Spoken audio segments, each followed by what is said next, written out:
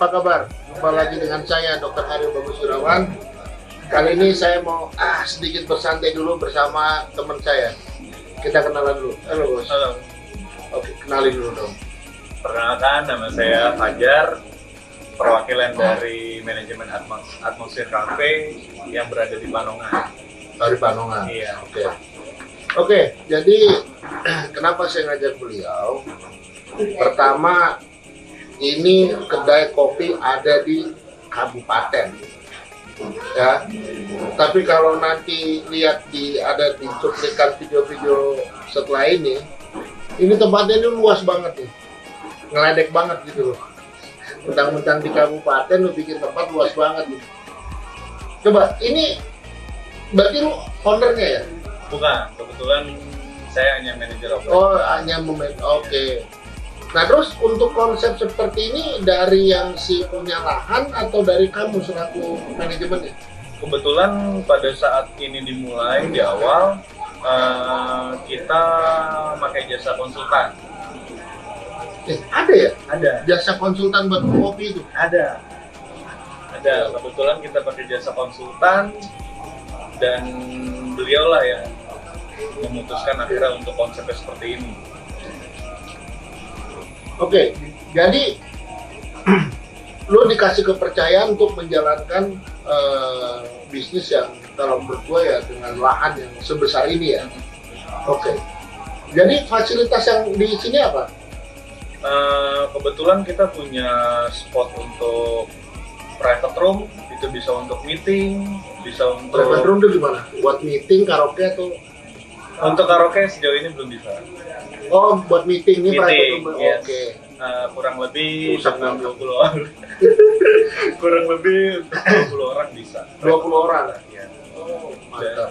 untuk area customer kebetulan kita punya lantai satu, lantai dua, lantai tiga, dan area taman. Oke. Terus selama ini yang jadi andalan lu, ini ap- apa sih? Eh, maksudnya bentuk menu kopinya itu ini ini apa nih? Eh, itu kebetulan es kopi susu kampung. Itu salah satu jagoan di kita juga. Eh susu kampung. Es kopi susu kampung. Oh, ini kayak apa gula aren gitu ya? Iya, basicnya gula aren. Hmm, Kopi susu. iya. Cuman yang gue salut mesen kayaknya baru berapa menit atau udah dateng aja. Iya. Ini lu buat dari awal apa memang udah lu stok stokin di di kulkas? Enggak, kebetulan Ntar ada orang lu ambil. Enggak, kebetulan kita di sini memang ngejar serving time. Kita Hmm. eh, standar pelayanan kita, sa- standar penyajian kita itu untuk minuman 5 menit paling tidak eh, tiga menu. Tiga menu. Eh, biar lebih santai, rokok aja. Berapa dok ya? Ini karena bukan eh, bukan materinya ini bukan medis, jadi boleh lah ya rokok.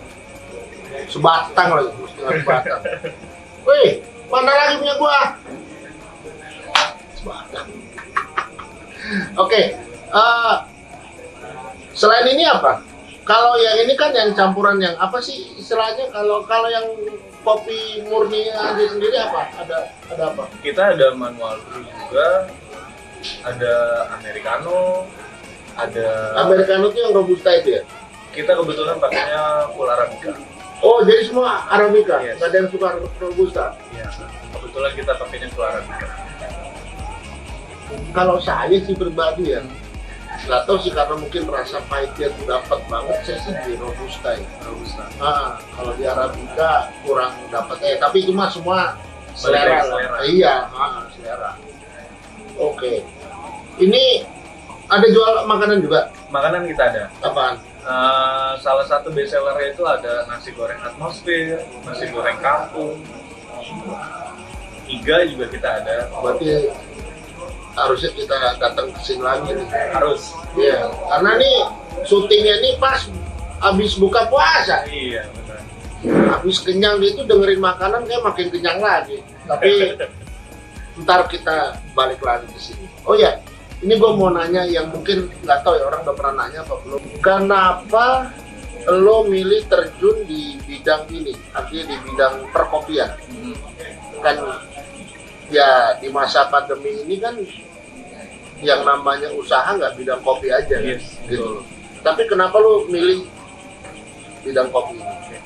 Eh, kebetulan untuk gue pribadi om memang terjun ke industri kopi ini bukan hanya pada saat pandemi kebetulan saya memulainya itu dari sebelum pandemi Sebelum Eh, pandemi? yes Oke. kebetulan memang basic saya awalnya memang bukan di kopi awalnya ya di dunia pelayanan lah akhirnya saya rasa di industri ini ya sama aja Nggak pernah lu nyobain sebelumnya lu bisnis apa misalnya?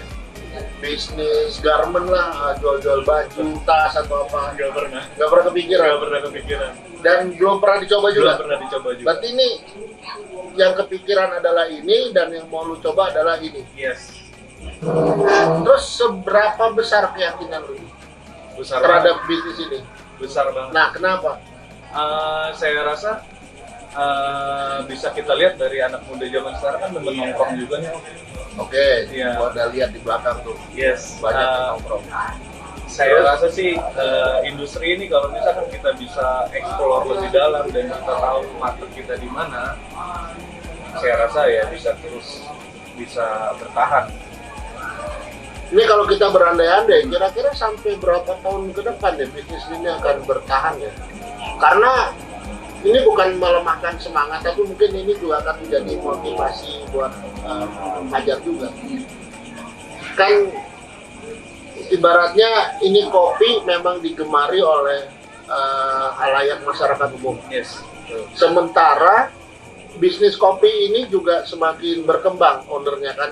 Apa udah udah banyak yang buka sana sini. Ya betul. Di sekitar kamu aja mungkin radius radius 500 meter udah ada berapa Eh, kurang lebih 10 ah 10 kan. Nah apa yang membuat kamu yakin bahwa bisnis ini akan lebih bertahan daripada 10 kompetitor kamu itu?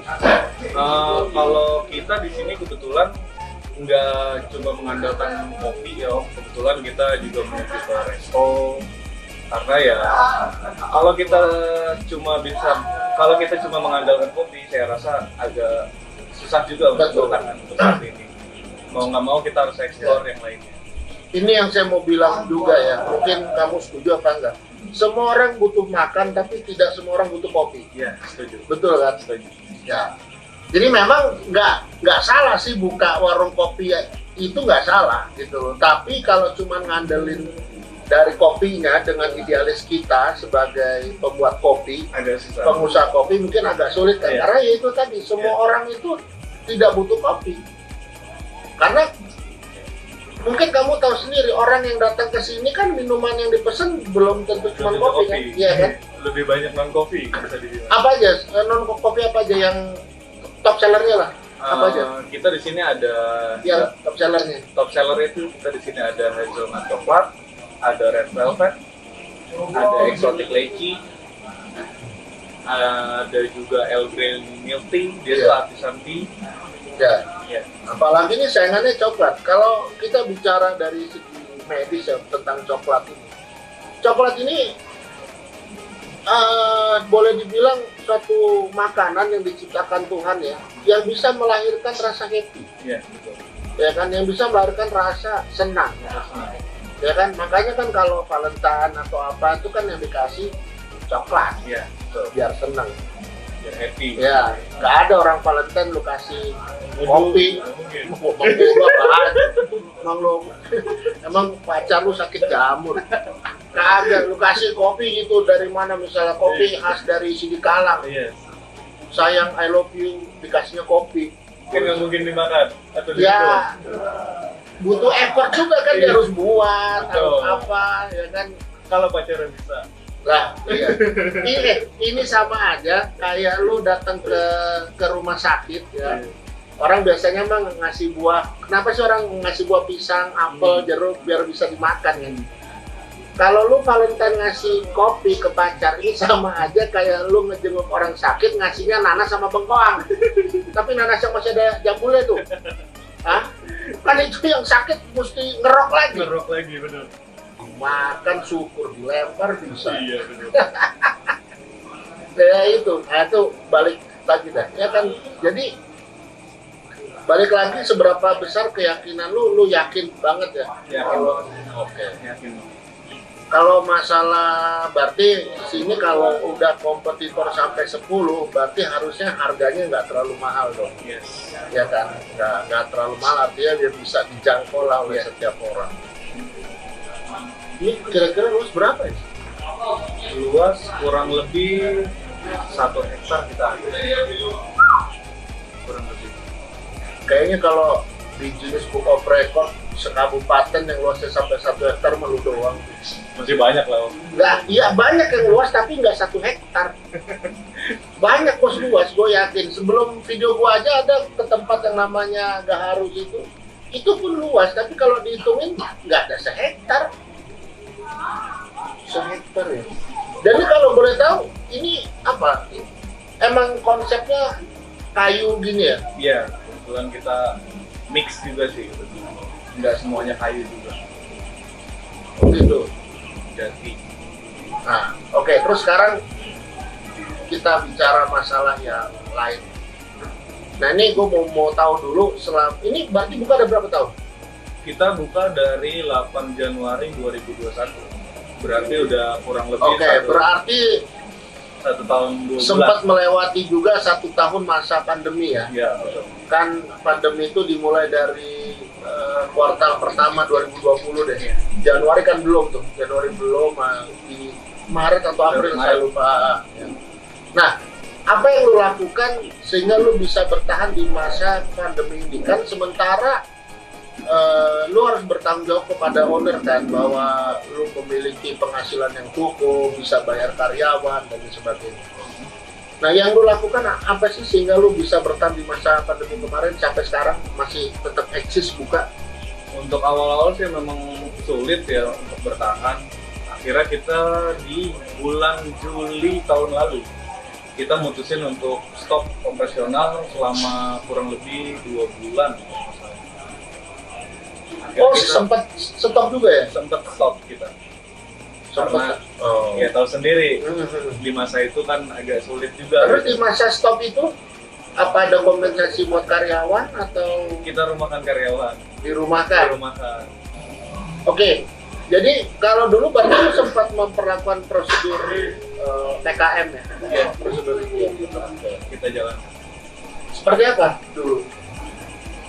sulit deh kalau di Oh, berarti enggak maksud gua yang datang tetap bermasker gitu. tetap sampai sekarang pun kita untuk pelayanan diwajibkan memakai masker. Yang melayani atau yang, yang datang? mengantarkan makanan minuman.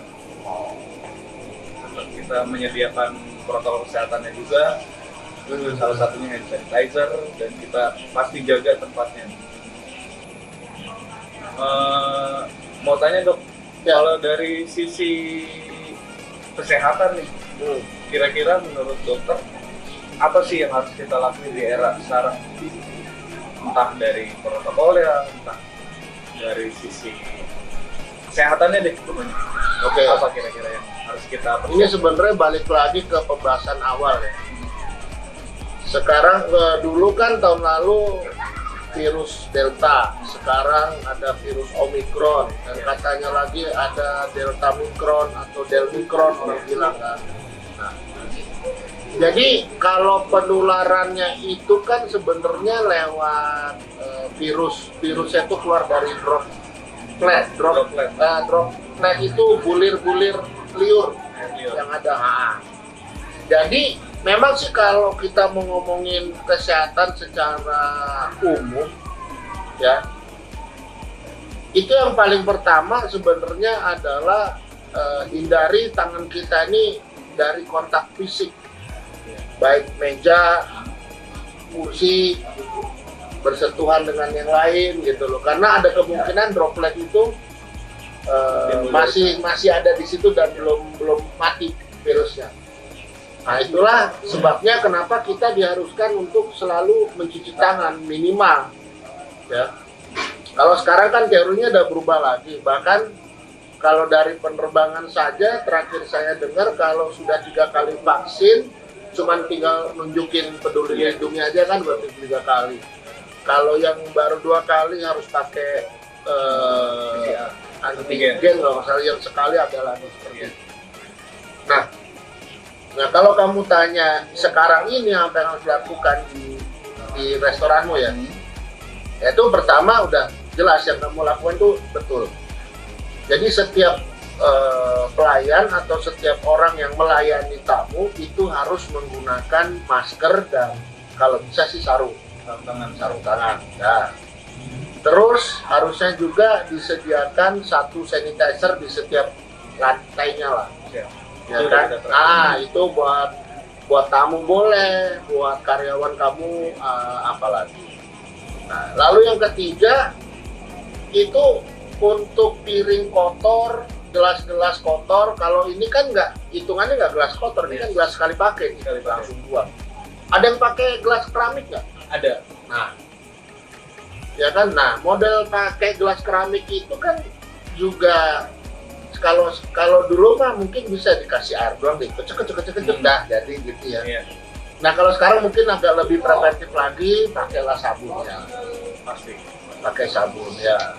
Nah, terus udah gitu, eh, ya kebersihan secara umum lah yang kamu tahu, misalnya ini tempat harus bersih, dipel. Eh, termasuk satu loh, ini saya juga menarik karena di tempat ini juga ternyata mereka memperhatikan kamar mandi. Iya. Iya, kamar mandi itu ngaruh loh. Kalau menurut saya, saya dulu pernah diajarin mama mama saya. Kamu punya tempat usaha sebagus apa pun, tapi kalau kamar mandimu jelek, jorok, orang akan ingat itu. Ngapain datang ke sana? Kamar mandinya bau, kamar mandinya jelek lah, inilah itu. Mendingan tidak datang tempat yang biasa atau mungkin yang lebih biasa dari ini, tapi kamar mandi bagus. iya Nah ini kalau gua rasa sih udah keren lah tempatnya keren, kamar mandinya juga enak, dilihat rapi. Ya bukan karena baru juga ya, tapi mungkin kamu ya udah mempertahankan seperti Yes. ini gitu. Nah dan yang paling penting si karyawannya itu sendiri gitu loh. Itu harus kamu biasakan dia mencuci tangan, ya kuku juga jangan panjang-panjang. ya.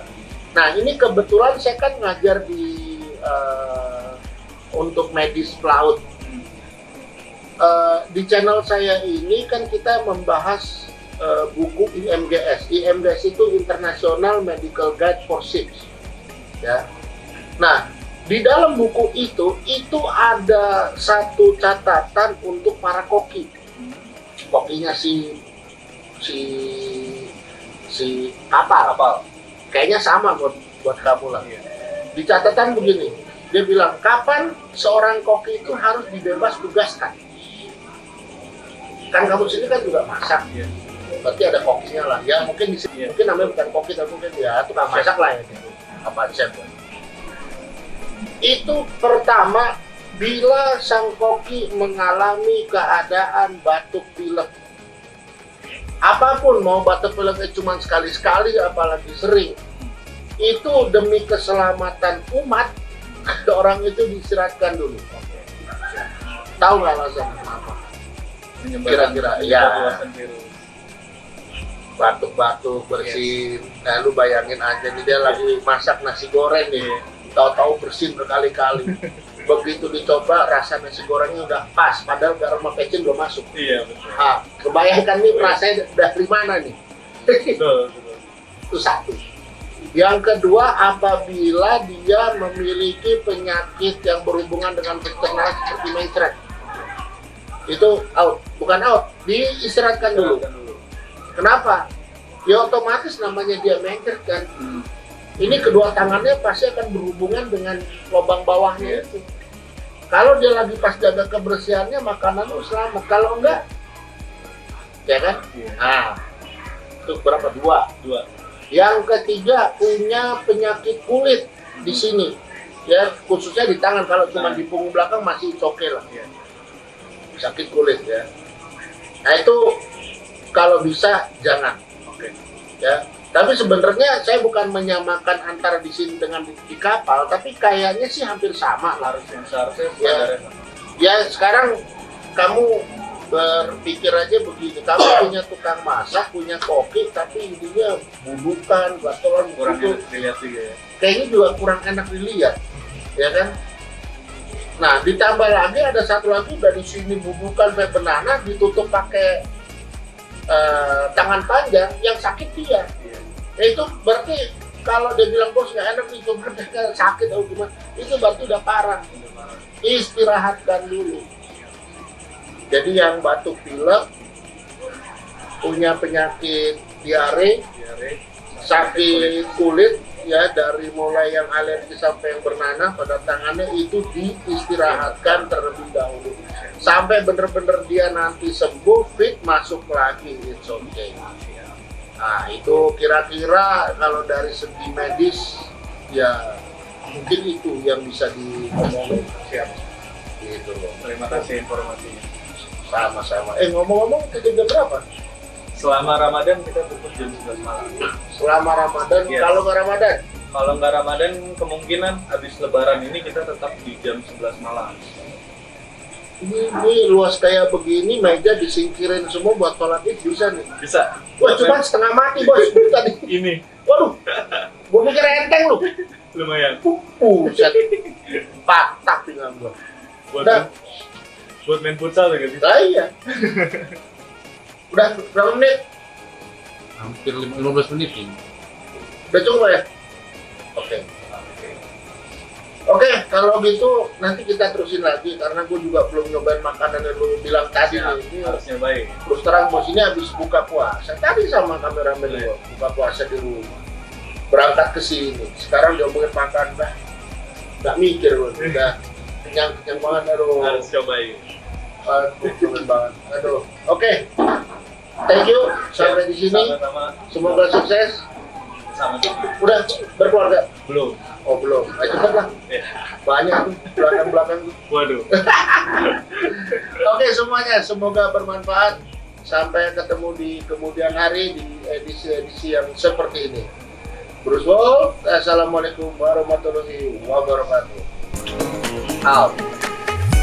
Eh, lu tau gak? Bruce Wolf apa? Bruce Wolf itu bukan mereka. Lu and semuanya budi. Oh yang ngarang kamera. Ngakak aja lu. Pikir baik. Bye.